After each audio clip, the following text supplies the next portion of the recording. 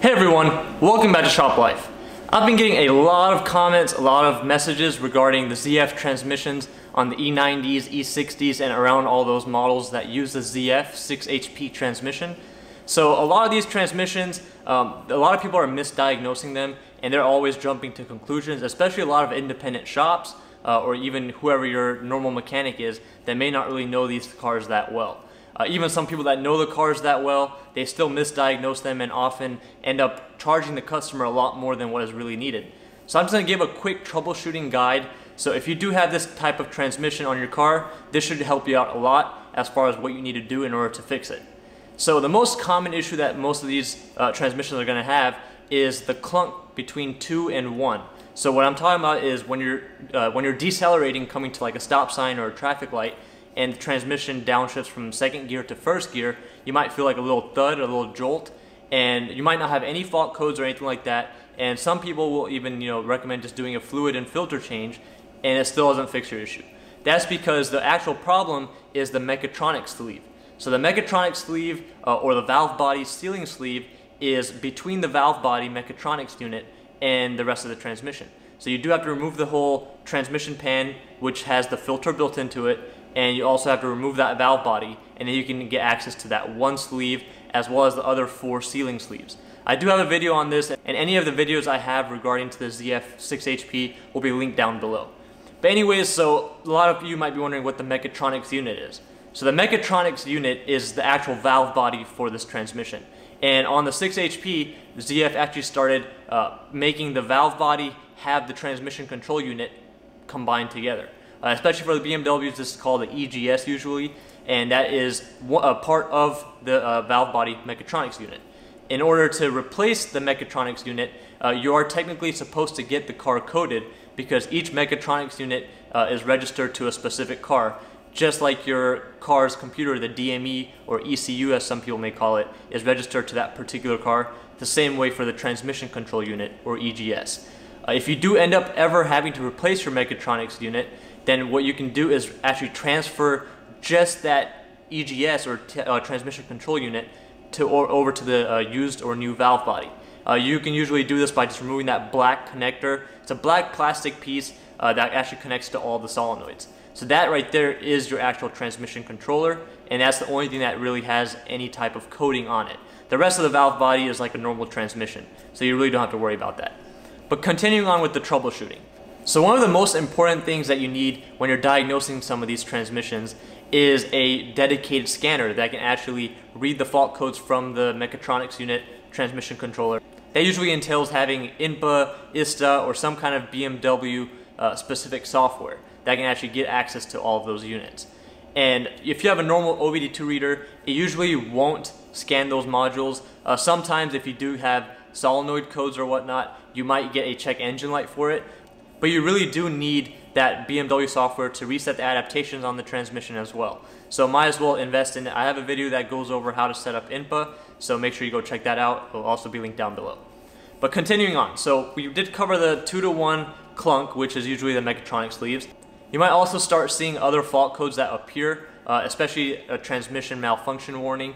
And when you have those scanned, if they are not related to any solenoids, then it could also still be the mechatronic sleeves. So usually it points to like some kind of incorrect gear ratio or slipping or anything like that. And that usually starts happening when any of those sleeves are bad. So the sleeves are made out of rubber and eventually over time they are gonna start drying up and crack. So all of the sleeves together, including the plug adapter, which is a cylinder that attaches to the connector for the mechatronics unit, which you do have to remove in order to drop the mechatronics unit. Uh, all those sleeves with that adapter usually come out to around 80 to 100 bucks, uh, give or take a few dollars. But anyways, I mean, you do want to replace all that instead of just doing a fluid and filter change, which is not really going to help out if you have a bad mechatronic sleeve. There's only a couple of extra bolts once you remove the transmission pan to get to those sleeves, so might as well go and knock them out if you're going through that fluid change. So depending on the model that you have as well, you might have a uh, actual dedicated filter or you might have the filter that's built into the pan. Only way you're gonna find out is just is to check your transmission. I mean, you can easily see it, uh, or you can look at the stamp and you can figure out your material or assembly data and go from there. Now we are actually onto the solenoids. So the whole solenoid pack ranges from around four to 500 bucks. Uh, sometimes you might get a deal for around 300 bucks depending on your transmission. Solenoids usually have a fault code stored and whenever that fault code comes up, it's usually to tell you that either one of the solenoids uh, is bad or multiple solenoids may be bad. And a quick and easy way to tell if it is the solenoid in fact rather than you know just having uh, having a sticky solenoid or even sometimes the sleeves might trigger it but usually they don't so a quick and sure way to know that it is a solenoid is to erase the fault codes and if the fault code comes back right away just cycling the ignition not even turning the car on that usually means that the solenoid itself has went bad and the most common solenoid to go bad is the third gear solenoid a lot of people might just suggest replacing that one solenoid, which you can buy uh, single solenoids from like California Transmission Supply Company uh, and, and even other sources. But your best bet, if you're going through all that work, just change all of them. I mean, you if you're already there, might as well knock out all of them. That way you don't have to worry about any of them going bad again. The fluid on these transmissions is not particularly cheap. So it's just good to just knock it all out if you can. And like I said, the solenoids usually throw fault codes and sometimes they won't even allow you to shift into any gears. Uh, you won't be able to move it from park to drive. You might even be stuck in limp mode, which only allows you to drive in certain gear. And this is where most shops misdiagnose the transmission. So whenever there's some kind of issue like this, whenever it's in limp mode, a lot of shops just jump to the conclusion that it needs an entire new valve body, which like I said before, is the mechatronics unit, and everything is built in together. A new one of those usually runs around three to three to four thousand dollars depending on where you're buying it and it's usually not the case almost always well let's just put it this way I've never had to replace a Mechatronics unit uh, main reason is because usually it's just the solenoids the sleeves um, or sometimes even the harness that's inside the transmission sometimes might get torn for some of the solenoids so your best bet is to just do that first. I mean, it might still be a little bit expensive. Uh, when you're replacing the solenoids, you're probably looking at around eight to 900 for the whole service, including the filter, uh, the fluid, all the sleeves, and even the solenoid packs. Uh, sometimes it might be a little bit more depending on your actual transmission, but that's a rough estimate. I would say under a thousand bucks, if you take it to somebody, you should be able to get it all done. And that is a lot cheaper than having to do the whole uh, mechatronics unit valve body. And if you do all the solenoids and all that, and you still have to replace the mechatronics unit, even if you buy a used one, you're still going to have to replace those solenoids as you know good measure. So if you already did it on your old one, you can just swap them over. Uh, they're not just one-time use. I mean, you can just pull them off, put them on the used one, even change your black plastic connector, and you'll still be good to go.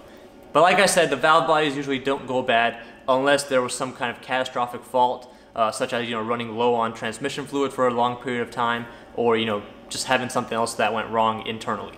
And another common issue is the usage of wrong fluid in these transmissions. There's a lot of fluids that, that can meet the specifications, but I always stick to the ZF LifeGuard 6, which is the safest bet. It's made by ZF, so there's not really much that can go wrong with that. Just because I've seen so many people that have got the fluid and filter changed, they use aftermarket parts, they use a different type of fluid that still somewhat met the specs, but it still ended up causing them to have a lot more faults in the, in the future. So your best bet is just stick with the ZF fluid. Uh, it's called ZF LifeGuard 6. You can buy it online uh, or if whoever you're going to your independent mechanic, they should have access to it through their supplier as well. Like the fluid, ZF also provides all the other parts. So the solenoid kits, they're usually all provided by ZF. All the sleeves are made by ZF.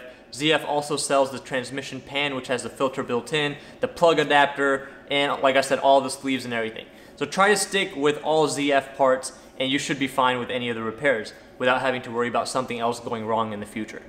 Now continuing on, so there's a couple of different types of these ZF6 HP uh, variants in throughout the E-Series cars.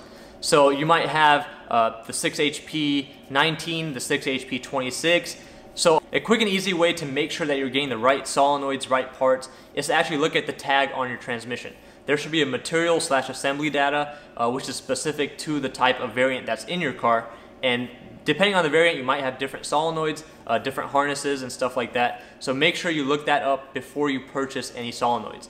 Because the solenoid packs, there are a couple of different varieties with different types of solenoids depending on if you have the E-shift, which is the electronic shifter in the center console. That's not really physically connected to the transmission itself. So depending on your shifter, depending on the material assembly data, you're gonna have different solenoids. So just make sure you check that out before you place any orders.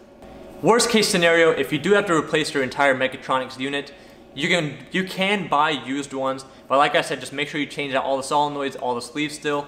And a quick and easy way to do it without having to do any type of coding is you can take off that black plastic electronic connector that connects to all the solenoids and swap that over to the donor mechatronics unit. And that way you don't have to worry about the coding or anything like that. You can just put it in your car, reset all the adaptations with some of the BMW software that I mentioned earlier, and you should be good to go. Now with all that out of the way, that pretty much covers most of all of the common issues that you're going to experience with these transmissions. That is for the most part repairable. Now if you ran the transmission low on oil or you have a bunch of metal in your transmission pan, uh, when you drop it, there's a couple of magnets in the pan. If you see a bunch of metal all over there or a lot of metal, you know, just sticking to the rest of the transmission, chances are that that transmission might have more internal damage, not really related to the valve body. But it doesn't hurt to try doing a fluid change and you know that might help out uh, or it might make it worse depending on how the condition of the transmission was already. So, so there's, I mean, there are a lot of variables when it goes into any transmission related repairs, but for the most part, the most common ones I've highlighted. Even if you're doing this at the DIY, I've got a really good video out on how to drop the whole pan, the mechatronics unit, how to change the sleeves out and put it back. And like I said, that should be linked down below, so make sure you go check it out. Now, if you're doing preventative maintenance, it is a good idea to change out the, you know, all the mechatronic sleeve, uh, the fluid and filter. If you have any 6 HP variant, by this time it is probably a good idea to go ahead and replace those sleeves and change the fluid and filter out. Otherwise, I usually recommend doing them every 60 to 80,000 miles. You don't have to really change out the solenoids as often. Uh, solenoids usually you can change out whenever they go bad, but at least do the sleeves, the filter, and the fluid. But anyways, that's it for this video. I hope this video helps you out a lot. And if you have any questions, feel free to leave a comment down below or message me on Instagram at ShopLifeTV. And thank you guys for watching.